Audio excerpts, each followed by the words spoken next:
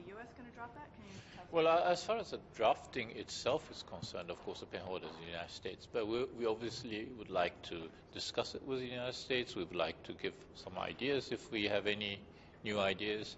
I mean, we've been talking about this for some time, so I don't really think we have to invent something really new, but we will certainly discuss it with the United States. Has the US indicated that they might be willing to push ahead with a new draft resolution on sanctions? Well, I think that's my understanding, but you have to ask her about that. what would you